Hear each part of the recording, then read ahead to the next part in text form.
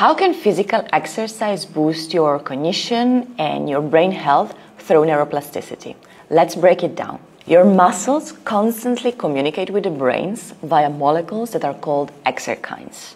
These molecules include peptides, metabolites, nucleic acids, and they are released by muscles, by fat, and by your liver during physical exercise. Myokines, for example, are the one released by the skeletal muscles. These are very important because it has been shown that they can cross the brain blood barrier, and in this way, they can activate and really actively work on several networks, for example, long term potentiation mechanism and other neurological also aspects. By activating these critical pathways, they can consolidate your learning capacity, your memory um, they can regulate better your emotions. They can sharpen your focus, your attention, your decision making, and critical thinking. And of course, they have a very big also neuroprotective role. This means that you're just more resilient against diseases and specifically also against neurodegenerative diseases because they are responsible for neuroplasticity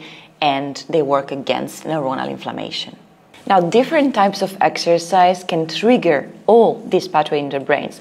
Cardio and strength training all have an effect, but specifically high intensity strength training, and this means at least 80% of your repetition maximum of your maximum capacity, which means hard, okay? You need to make effort when you do strength training.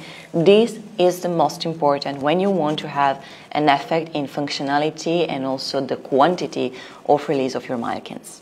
Now, another difference between the cardio, for example, and strength training is that they activate these neuronal pathways in different ways, depending whether the exercise session is a chronic one or an acute one. Physical exercise and exercise are so powerful that they are now not only considered and studied as a preventive uh, method or approach that we can have for patients and populations, but also healing. Take, for example, neurodegenerative diseases and specifically Parkinson's disease, which I'm researching.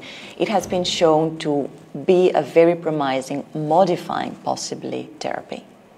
Meaning that the first therapy that will really have a modifying disease effect will come out of physical exercise.